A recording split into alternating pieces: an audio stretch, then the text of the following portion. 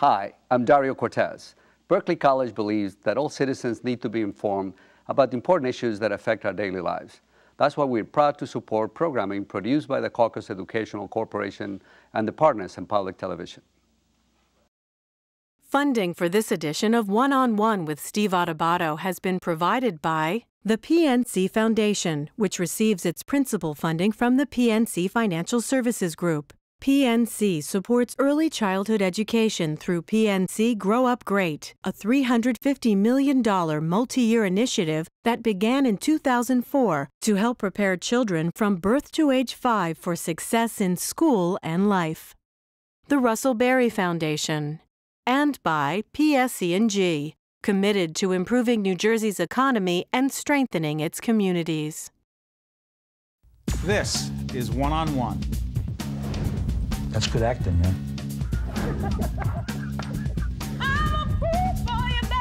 I get that a lot. I go to Atlantic City all the time. Like, are you the guy? I go, no, I'm not. This is one you can't afford to miss. They thought that I wouldn't survive it, but I knew I would.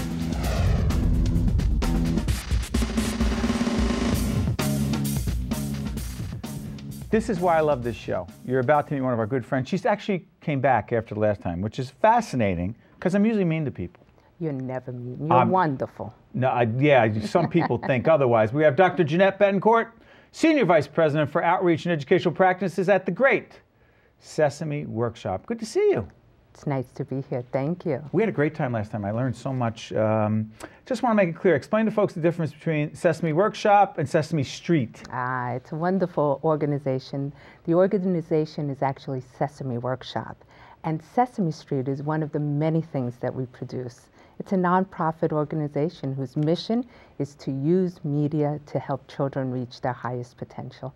And this is part of our uh, Grow Up Great initiative we're doing in cooperation with our friends mm-hmm. at PNC. Let's, PNC Bank. Can we plug some of the great things you're doing? Um, I like this one, Food for Thought, right? This is eating well on a budget. Talk about this because this is getting distributed all over, millions of these, right? Absolutely. How many?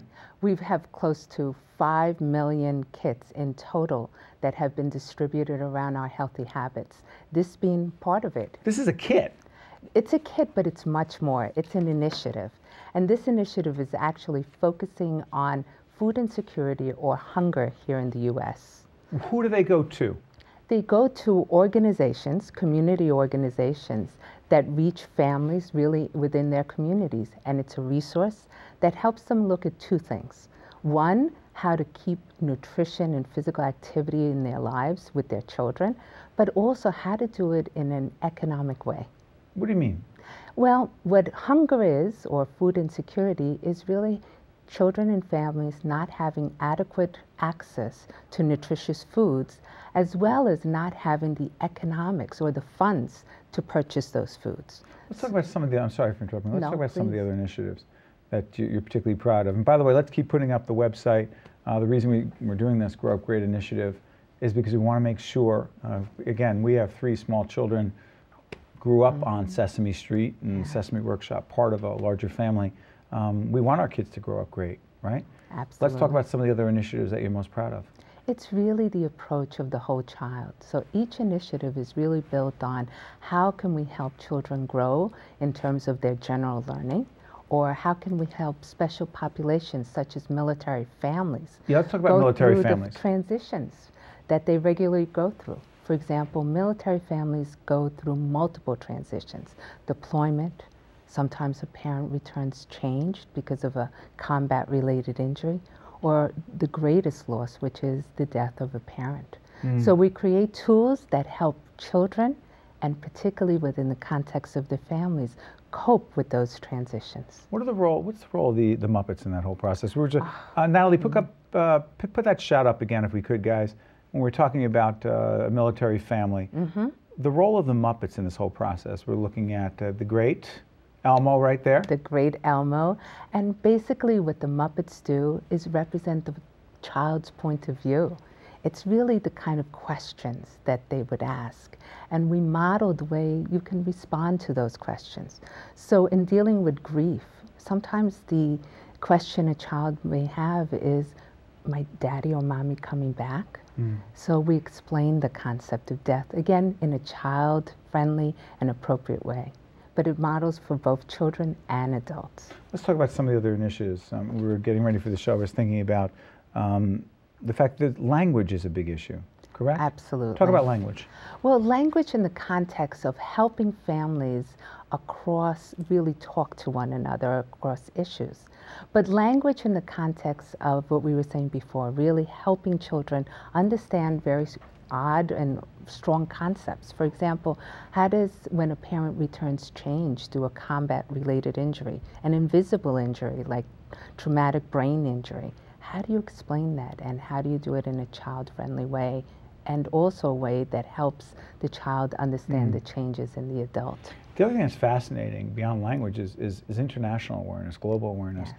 You know, AIDS awareness in Africa, mm -hmm, mm -hmm. you know, HIV related issues that the Sesame yes. Workshop's involved in that. Well, how so? What's fascinating is that we're in over 120 countries and in around 25 What are we looking at right there? Countries. Is that South Africa? That is South Africa, and that is a fun, wonderful Muppet, which uh, whose name is Kami. Kami. And Kami is in, really an HIV positive Muppet. And again, it's designed to the country's needs. So that Muppet didn't come from here, from the States, or from our model here in, in, in the US, but it was really how do we meet the needs of children in South Africa and what are their needs, both educationally and also in terms of their social emotional development. Let me ask, ask you something. I'm curious about this. Do you think that there's something about the people who are drawn professionally to your organization? Who are they? Where do they come from? Such a wonderful question. It, it really is a collective of individuals there who are creative, very committed to the mission of Sesame Workshop, but most of all, they really understand children. They understand the way children enjoy themselves, but also the way that they learn. And really, everyone, no matter if you're in the finance department, in your outreach, digital, each of them possess that vision and those abilities. Is that how you got into this? Oh, I got into this really in a way that I didn't think I would work at Sesame Workshop. You did? That wasn't your game plan? No, I was a speech and language pathologist. And I worked. Where'd you grow up? Uh, oh, I have a fun um, upbringing. I was born here in the States, but my parents are from Colombia, South America. And I would shuttle back and forth all the time. And Eventually, I got interested really in working with children and helping them therapeutically. And coincidentally, a friend of mine actually said, Why don't you come over and consult at the workshop? They're looking at really some materials for special needs children. And so I came in and I go, Wow. Just like a lot of people, you don't recognize the power and the many things that you can do at Sesame Workshop. It's interesting. In the time we have left, the reaction you get not just from the children who you serve, but their families, mm -hmm. whether it's military families mm -hmm. or uh, families who are struggling with HIV and AIDS. Right. What kind of reaction you get? We get the reaction of how this wonderful brand and these wonderful Muppets really live with families in terms of lifelong. So many individuals, if they're adults, they share their family experiences and also the experiences as a child, their favorite Muppet. So it's really a lifelong history with the Muppets, and it's just wonderful. You love your work. Can you tell? yeah, you're very yes, passionate. I am. And uh, we are honored, um, Dr. Betancourt. Every time you've come on, we've learned something new. And uh, you inspire us and remind us why um, Sesame Street, uh, the show mm -hmm. itself, the series itself, but also the folks at the Sesame Workshop are doing important work, and, and we all hope that all of our kids, whether they're our own children or um, our children of the world, grow up great. So thank you. Thank you. Appreciate it. Thanks for joining us on One on One. Thank you. Folks, stay with us. We all want our kids to grow up really great. Stay with us. Right back after this. Thanks, Janine. If you would like more information on this program, or if you'd like to express an opinion, email us at info at caucusnj.org and visit us online at oneonone.org. There he is, Ken D'Amato, who is the President and Chief Executive Officer of DoughMain. First of all, it's a great name. We'll put it up there so people can see how it's spelled. Uh, and also, what is it? DoughMain. Thank you. DoughMain is a family website that teaches children about money. We're the first and only free website that brings together financial education and family organization in one website. Where the heck did this idea come from? I was watching my, my older boy Michael and David play Webkinz and Club Penguin. And while they were playing Webkinz, I was watching how my, at the time, David, who was nine, how he was spending the web dollars as quickly as he can get them in and buying everything, whether he needed it or not. he had 15, you know, palm trees in a room, yes. And Michael was saving everything, so he was proud to accumulate. And I'm thinking to myself, we do the same exact thing with both children. How can they be so different? And it's basically some of it's just the way they the, the way they're wired, but others the environment. You know, Michael likes saving, and David still to this day will spend everything and always wonder why he doesn't have money. so you said to yourself, by the way, what's your background that you would come into this like this? So I am a uh, Fortune 100 executive. I started at General Electric in the lighting business and ended up in private equity, uh, you know, running portfolio companies. And I was just watching my kids in Christmas time, 2008, playing these games. And I thought, wow, there's got to be a better way to teach, teach kids about money. So I, while I was still running, running a portfolio of companies for a private equity firm, I started to spend some money and have some people do some research and found out that there were thousands of websites to teach children about money using gameplay. But what parent would ever have the time to vet through 100 websites to find the right, right one? So I engaged some teachers to actually start working on a project with me. And in 2009, in the fourth quarter, I put together a business plan and sold it into a couple of private investors and built out a team. And two years later, you know, we've been five months live you know, tens of thousands of people are coming to the site each week. They're signing up, and it's working. That's great. So if someone logs on, right? What happens? So you go to doughmain.com, and you will see it's basically geared towards parents. So you'll see not kids. Well, the DoughMain site is geared towards parents because there are laws in terms of having children right. sign Got up it. for things. So DoughMain is all basically what's called brochureware you have to have a parent sign up, and then you open up all of these tools that come for free. There's no charge, and you get access immediately to a family calendar, a chores tracker, allowance tool. If you don't believe in having money be used in your in your household, you can use points. We have a points bank, a virtual, and where it gets neat, similar to what PNC does with their virtual wallet for older children, we can import bank accounts into our website so children in a clear, concise way can see their money in a safe environment. What happens when kids see this? What kind of reaction? They're, they get excited about it because most parents don't let children just use the computer easily and, and, and have free reign of it. Right. So we bring together financial education, but we do it through gameplay on age relevant properties. So when you create a DoughMain, the kids have access to click on games and it takes them to individual websites depending on how old they are and what they play. So we have three properties that feed from DoughMain on the public and the private side. And the public is if you just go and don't sign up for an account, kids can go and play games all day long for free. And the Fun Vault teaches children needs versus wants, coin recognition, relative value. I mean, a child can learn how many how many you know slices of pizza it would take to actually you know cost to light versus lighting a house, an electric bill. And there's games that teach these children these kind of things and they've all been brought to the, brought to uh, the marketplace through teachers and game developers. You know, it's interesting. You you've said publicly in the past that money has become invisible to our kids. What does that mean? So think about think about 20 years ago, 25 years ago, when we were teenagers, and you would go to the bank. You'd watch your parents go to the bank. You'd watch them pay bills. You'd watch them open up an envelope and and, and look shocked when they see how little money they had, or pay credit cards. To today, so today a child in this generation sees us go to an ATM machine That's and it right. spits out money. You can pull up to a Dunkin' Donuts and get a cup of coffee or a McDonald's and a Happy Meal and they pull out a piece of plastic. And children don't see currency moving back and forth. And then you make it even more complicated by parents aren't doing, they're doing their banking online. They're not opening up bills. They're paying bills online. So, you know, children grow up today and they don't even know anything about but, money. But what should we be doing? Can help me? Because I worry about this with our kids. I mean, our, our kids are, uh, a big boy is 19 in college, and he's, he's trying to figure out, he knows his tuition gets paid for, and his job is to work hard with his grades and part-time jobs and things, but again, he's not expected to pay his tuition. It's Correct. a big bill. But then you got a seven and a nine-year-old trying to figure out where this stuff's coming from, and you try to have them be responsible, but spoiled, no doubt about it. And a little girl who's 18 months. What's my job? Isn't my job, devil's advocate, to make it easier on my kids than my parents made it for me, who, no disrespect, my parents watch occasionally. They couldn't do anything for us. They really could. It's a different generation, right? Right. I mean, when we were kids, our parents said, "Go outside and don't come back." You figure until, it out. until it's dark." Right. Well, it's different. So today, it really is our responsibility to teach our children. So in this world where you know money is ubiquitous, with it's invisible, right?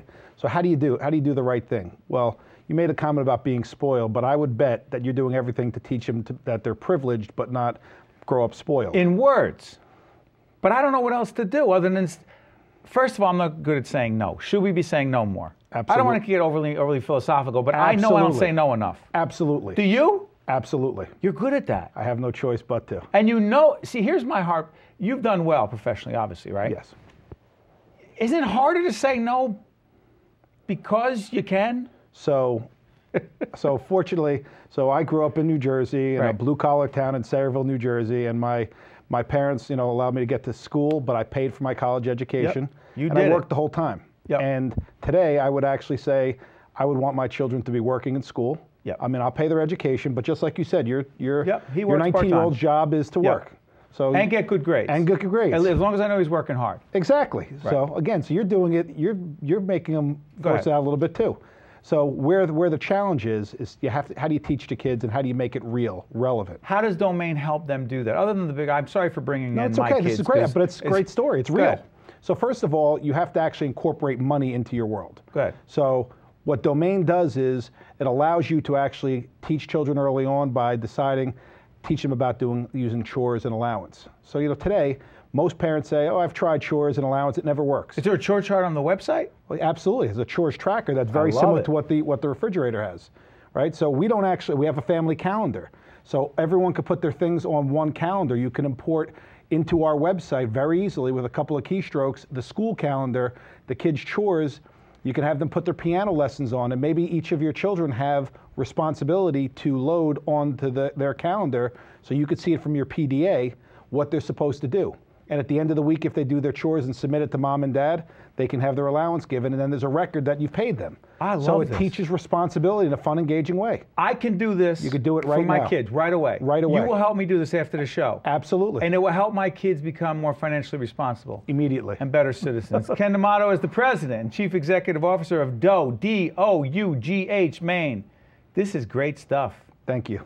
And by the way, I heard that you were really caught up with money as an 11 year old, and it's paid off, not just because you're a good entrepreneur or successful, because you're making a difference for others. Hey, thank you, Ken. Thank you you're so a great much. guest. Appreciate it. One on one, you never know what you're going to learn here. Manage money for yourself, but more, more, more importantly, having your kids become more financially responsible and grow up great. We'll be right back. Hey, that was great. Thank you so much. If you would like more information on this program or if you'd like to express an opinion, email us at info at caucusnj.org and visit us online at oneonone.org. Ada Beth Cutler, Dean of Montclair State University's College of Education and Human Services. Good to see you, Dean. Good to see you, Steve. I am a proud graduate of Montclair State University. Uh, and by the way, one of the finest programs we have is the College of Education and Human Services. Uh, one of the areas I want to talk to you about right away is teacher quality, right?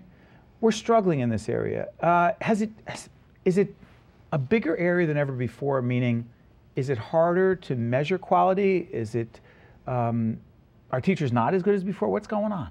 That's a really good question. I don't think it's that teachers aren't as good as they were before, but we have higher expectations for all of the students in our school now. There was a time when we were growing up when it was acceptable and even possible to drop out of high school and still make a living and support your family. It's not possible anymore. And we pay attention to all of the children in our schools, whether they have special needs, whether they don't speak English at home, whether they come from backgrounds of poverty, and all of them deserve a good education. So the challenges are greater. How has teacher preparation changed? Ah, teacher preparation has changed a great deal in many places, including at Montclair State University, although we have a long and illustrious history of producing outstanding teachers for New Jersey schools. We've been rated in the top 20 in teacher preparation in the country by U.S. News and World Report and other organizations. There are some reasons, obviously, why we're rated so highly and we've gotten many accolades. First of all, our students learn the subject matters they're going to teach very well, very deeply. And that is a basis for the rest of their education. We don't accept people into teacher preparation when they come in as freshmen. They have to apply as juniors to teacher preparation. Then when they're in our teacher preparation program, whether at the undergraduate or the graduate level, we immerse them in the schools in what we call clinical experiences. Mm. People used to talk about practice teachers, you probably remember yes. from your experience. That is necessary but insufficient. If a prospective teacher only spends one semester at the end of the program in a school, it really isn't adequate to then come in and take over a class on your own. We also have very close partnerships with school districts. Give us an example. Well, Newark. Newark is a big piece of this, Newark is a very big piece of this. Montclair State is not an ivory tower institution. Not at all. We are deeply engaged in the communities that, that part, surround sorry us. Is that the urban residency program? Ah, that is the new, newest and most exciting program we have in our partnership with the Newark Public Schools. Talk about it please. I'm happy to. The Urban Teacher Residency is modeled after a medical residency program where prospective teachers, and these are postgraduate, they already have their bachelor's degree when they enter this program. They go through a rigorous, very rigorous admissions process. They want to teach in the city of Newark and they want to be career long teachers. And they are very high achieving individuals. They come into the program, they spend an entire year in the school with a talented and carefully selected mentor teacher. It's like an apprenticeship program, and at mm. the hmm. same time, they're earning a master's degree, a Master of Arts in Teaching from us. Our faculty deliver that program in the schools. They coach them in the schools. They coach the mentors. They work with the principals on school improvement, on teaching for deep learning. And it is a very, very successful program. It's funded by a $6.3 million federal grant that right. Montclair State got. Department largest, of Education? Yes. Sometimes U.S. Department. people question the federal Department of Education. Hey, what do they do? That's a good answer, right? That's one of the things they do. Yes, it is. It is one of the things they do. And they are actually very much engaged in thinking about what it will take to have a high performing teacher in every classroom. So Secretary Arne Duncan and others engaged in this as well. Yes, absolutely. Is there private money here, is it, or is it all government that's money? A, that's a good question. The, the majority of the money is from the federal grant, but it requires a 100% match. So the Newark Public Schools puts up money. The residents get a living stipend. They get $26,000 for the year, and their master's degree is totally paid for. So the Newark Public Schools puts up half the stipend. The grant pays half. Montclair State has puts up part of the tuition money for this program. We also have money from the Prudential Foundation that right. has enabled us to do certain things. There are other um, federal grants. We, we have bought digital backpacks for all of the residents that have all of the technology they need in one backpack.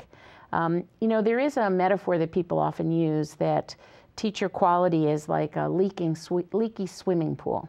That we keep pouring more teachers into the pool, and even though some don't make it, we just keep pouring more in. And there's an enormous expense to that. One, one um, statistic is that half of all teachers leave after the first five years on Why? the job. There are a few reasons. One is some are ill prepared. And they, they should really, never have gone. I, will say this, but is this correct? That they should not have gone in the first place, or they could have made it, but something caused them not to? It's both of those, actually. Okay.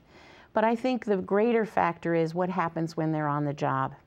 There is a very sad fact that in many schools, new teachers are given the most difficult assignments mm. and they don't get the kind of support they need. Think about first year lawyer, law associates, supervised, right. clinical psychologists, sure. social workers. There's a lot of mentoring. Right? A lot of mentoring. Where's the mentoring here? Ah, in our urban teacher residency program, there is a very extensive mentoring program for three years, not for one year, All for three, three years. Right. And they have to sign a contract that they will teach in the Newark Public Schools for a minimum of three years. In one year of the urban teacher residency program at Eastside High School, the mathematics scores, because the high school program is math and science teachers, the math scores went up from 50% proficient to 64% proficient. So you're actually seeing, from a quantitative point of view, real results. Yes, we are. These are passionate, talented young people who are being mentored by excellent, experienced teachers and our faculty. Question, a couple minutes we have left. What should, in your opinion, the debate, the discussion around teachers, teacher performance sound like? Because it often doesn't sound the way I'd like it to sound. Not forget about what I like it to sound. It awfully doesn't sound, often doesn't sound productive or mm-hmm. constructive. Mm -hmm. What should it sound like? Well, I think it's it's unproductive to make it a blame game. You know, there are many factors that uh, that affect student achievement. The most important in-school factor is the teacher. But teachers need to feel appreciated and respected and honored in our society, and too often they're not. They also need opportunities to learn on the job. We treat teachers as though once they graduate and they start teaching, they know everything they need to know. Mm -mm. They can't. It's the beginning of a teaching journey. I remember how bad I was at this 20 years ago. I mean, really bad. And we, 15 years ago, I mean, the point is, you just, I'm sorry. Also, also, I'd taken time cues poorly because I didn't realize the show was ending. Uh, Ada Beth Cutler is the uh, Dean of the Montclair State University College of Education and Human Services. Thank you so much. You're welcome. Funding for this edition of One on One with Steve Adubato has been provided by the PNC Foundation, which receives its principal funding from the PNC Financial Services Group. PNC supports early childhood education through PNC Grow Up Great, a $350 million multi year initiative that began in 2004 to help prepare children from birth to age 5 for success in school and life. The Russell Berrie Foundation and by PSE&G, committed to improving New Jersey's economy and strengthening its communities. Promotional support provided by The Record, North Jersey's trusted source, and NorthJersey.com. Transportation provided by Airbrook Limousine, serving the metropolitan New York, New Jersey area. One on One with Steve Adubato has been produced in partnership with St. Joseph's Healthcare System. There is a place that pushes beyond traditional thinking to take medicine further than ever before. Where science and creativity work together to give heart and cancer patients new possibilities, and researchers discover options for children who once had none. A place that proves every day that impossible is just an opinion. Hackensack University Medical Center, where medicine meets innovation. Don't miss Steve Adubato and co-host Rafael P. Roman each week on New Jersey Capital Report, airing on NJTV, 13, and WHYY. Check your local listings.